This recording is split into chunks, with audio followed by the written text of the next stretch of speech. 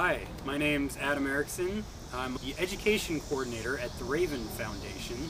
And this is my good friend Tripp Hudgins. Tripp is a board member at the Raven Foundation. And a couple uh, months ago, Tripp and I got together and we were thinking about what would be one of the most challenging books or letters of the Bible to have a five-part session on, and we came up with Revelation. Why not?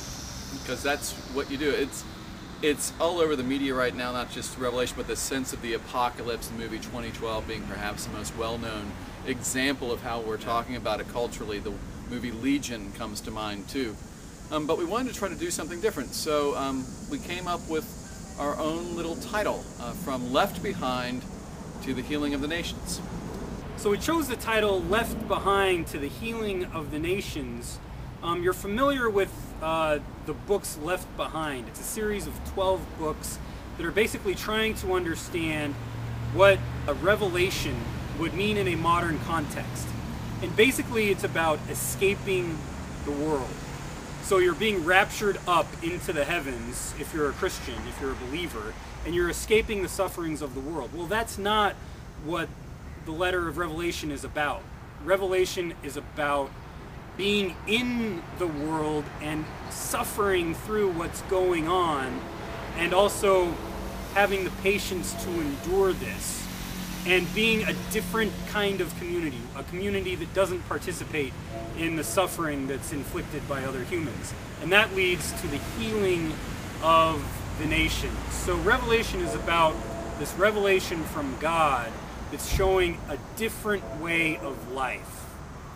Now, the, the, there are, of course, a couple challenges. Um, it's just, in one sense, to um, rescue the letter by John of Patmos from our ongoing desire to not just make it relevant, but to make it truly about now, that somehow it's always predicting the present contemporary moment. But what it really is, is a specific letter to a specific people in a specific time and has a lot to teach us but it's not actually um, a first century version of Nostradamus. John of Patmos is not that. John is in exile on the island of Patmos. He's a Christian. It's um, late first century. And he's gotten in a lot of trouble with the Roman authorities for preaching the gospel, for doing the things that Christians do. Um, at this time, there's some inconclusive evidence and some inconclusive justice about exactly what you do with a Christian when you find one. Um, persecution is starting to arise. Some are being killed, uh, but many are simply being exiled, like John. He has this vision, and he has to find a way to to explain to the churches exactly what this vision is about, because really the vision and the, the essence of this letter is to say you have two choices. You can either choose Jesus or you can choose the empire. I'm going to suggest to you in the next 22 chapters that you choose Jesus. That's what's going on. Yeah, and the choice of Jesus may bring a lot of suffering yes, to you. Yes. Which and, you will have to endure. And that's and that's exactly right. It's it's not simply something you can leave alone. It's it's you know not something you can escape. Right, you can't be lukewarm. Right. He talks about that. He talks about church that is lukewarm about its way of being Jesus, and other churches that take on, if you will, the window dressing of the empire, and how that's not really an option. It's an incredibly challenging letter, and it's not something that you can just sort of sift through easily.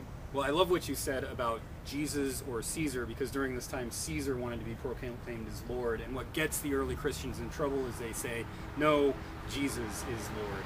Exactly. And this is what, like, you get this in the first like 15 verses yeah. of the book, and that's what the essence of what the book is trying yeah, to. Yeah, and at. from there and on, he's just spinning that same thing over and over again. We've had one course so far, one class gathering. We met two nights ago. We're going to meet again tonight the first class we did talk just about this basic outline. We read the first chapter, the 13th chapter, which is a really interesting one. Take some time and read that. And then the 22nd chapter, just to get everyone's feedback, a, a sense of what it is. Tonight we're going to talk um, about these first three chapters. Who is this letter really addressed to? Who are the churches?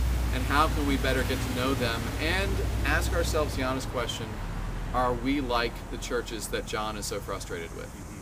Uh, Tripp and I will be reflecting on uh, tonight's session uh, in the next couple days, so uh, hope you join us. Take care. See ya.